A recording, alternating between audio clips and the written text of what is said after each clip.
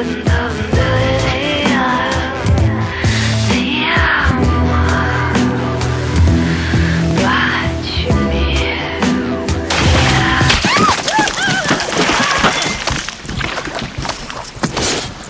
premium light. Some drink it because they're responsible. What? Others just love the taste.